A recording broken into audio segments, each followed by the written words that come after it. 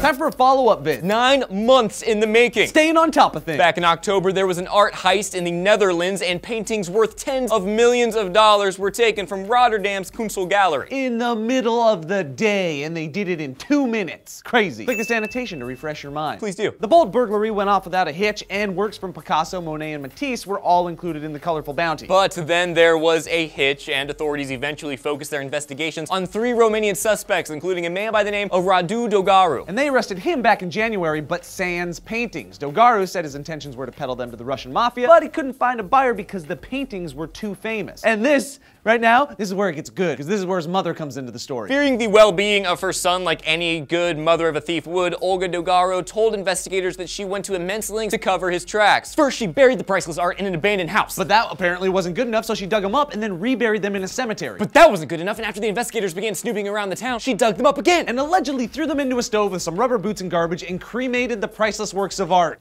Hmm. That sucks. Yeah. Dumb move, lady. You destroyed priceless works of art and confessed to the crime for your son. You're terrible.